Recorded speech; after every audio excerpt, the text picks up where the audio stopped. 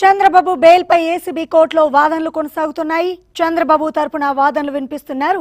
Supreme court lawyer Pramod Dubey. AAG Ponnavolu Sudhakar Reddy వచ్చే వరకు సమయం ఇవ్వాలన్న స్పెషల్ పబ్లిక్ ప్రాసిక్యూటర్ వివేకానంద విజ్ఞప్తిపై జడ్జ్ అభ్యంతరం తెలిపారు. అంత సమయం అడగడం సమంజసం కాదన్నారు దూబే. పావు గంట బ్రేక్ తర్వాత కొనసాగుతున్నాయి వాదనలు. మరోవైపు మాజీ మంత్రి నారాయణ పిటిషన్పై ఏపీ హైకోర్టులో విచారణ కొనసాగింది. నారాయణ పిటిషన్ మరో బెంచ్కు బదిలీ చేయాలని జడ్జి నిర్ణయించారు. ఏ ఫార్టీ వన్ ఏగా పిటిషన్ విచారించేందుకు విముఖత చూపారు జడ్జ్. అయితే నాట్ బిఫోర్ మీ అన్న జస్టిస్ శ్రీనివాస్ రెడ్డి మరో బెంచ్కు బదిలీ చేయాలని ఆదేశించారు. చంద్రబాబు నారాయణ పిటిషన్లపై విచారణకు సంబంధించిన మరిన్ని అప్డేట్స్ మా అమరావతి బ్యూరో చీఫ్ రమేష్ లైవ్లో అందిస్తారు. రమేష్ వీటికి సంబంధించిన అప్డేట్స్ ఏంటి? Thank you Rachel skill development కేసులో చంద్రబాబు నాయుడు కస్టడీ బెయిల్ పిటిషన్లకు సంబంధించి ఏసీబీ కోర్టులో విచారణ ప్రారంభమైంది. చంద్రబాబు నాయుడు తరఫున సుప్రీంకోర్టు సీనియర్ న్యాయవాది ప్రమోద్ కుమార్ దుబే వాదనలు వినిపిస్తా ఉన్నారు. అయితే ఈరోజు ఉదయం ఏసీబీ కోర్టులో చంద్రబాబు నాయుడు బెయిల్ పిటిషన్ పైన వాదనలు వినిపించేందుకు ఆయన తరఫున న్యాయవాదుల బృందం ఉదయం పది గంటల ప్రాంతానికి ఏసీబీ కోర్టుకు చేరుకుంది. వాస్తవానికి గతంలో ఈ కేసును వాయిదా వేసే సందర్భంలో తిరిగి విచారణ సందర్భంగా మొదట బెయిల్ పిటిషన్లపైనే తాను వాదనలు వింటారని చెప్పేసి ఏసీబీ కోర్టు న్యాయమూర్తి స్పష్టం చేశారు. ఈ నేపథ్యంలో కోర్టు ప్రారంభ సమయానికి ముందే చంద్రబాబు నాయుడు తరఫున న్యాయవాదులైన ప్రమోద్ కుమార్ దుబే న్యాయవాదుల బృందం ఏసీబీ కోర్టు చేరుకుంది.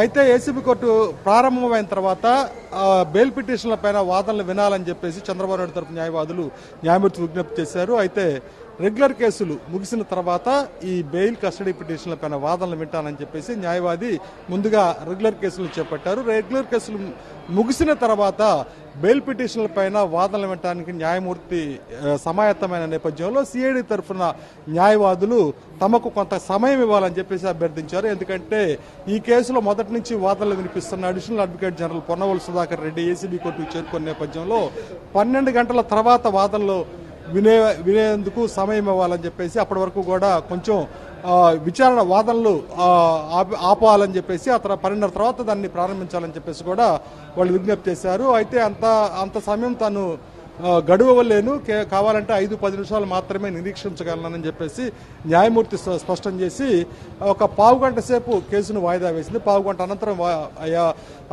ఏజీ వచ్చినా రాకపోయినా కానీ తను వాదనలు వింటానని చెప్పేసి న్యాయమూర్తి స్పష్టం చేశారు.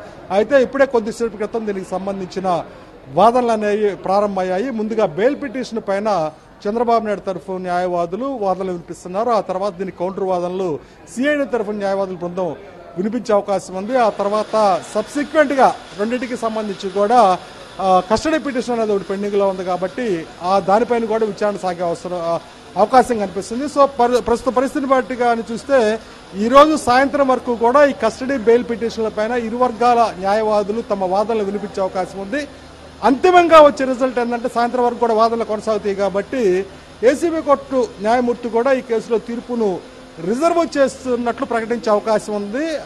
ఉందని చెప్పేసి సమాచారం అంతా ఉంది. ఎందుకంటే వాదనలు అంతా కూడా అటు సుప్రీం సుప్రీంకోర్టు న్యాయ న్యాయవాది అదేవిధంగా ఇటు అడిషనల్ అడ్వకేట్ జనరల్ ఇద్దరు కూడా సుదీర్ఘమైన వాదనలు వినిపించే అవకాశం కనిపిస్తుంది. గతంలో కూడా ఈ కేసు అంశంలో అటువంటి పరిస్థితులు మనం చూసాం కాబట్టి సాయంత్రానికైతే మాత్రం తీర్పు రిజర్వ్ చేసే అవకాశం ఎక్కువగా ఉంటుందని చెప్పేసి సమాచారం అవుతుంది ఇక మరోపక్క ఏపీ హైకోర్టులో మాజీ మంత్రి నారాయణ దాఖలు చేసిన ఫార్టీ వన్ ఏ పిటిషన్ నోటీసులు సవాల్ చేస్తూ దాఖలు చేసిన పిటిషన్కి సంబంధించి కూడా విచారణ సందిగ్ధంలో పడింది ఈ పిటిషన్ విచారణ ఏంటంటే ప్రధానంగా ఏంటంటే తన వయసును దృష్టిలో ఉంచుకొని అరవై ఐదు ఏళ్ళకు పైబడిన తన వయసును దృష్టిలో ఉంచుకొని విచారణ అనేది తన ఇంటి వద్ద నిర్వహించాలి.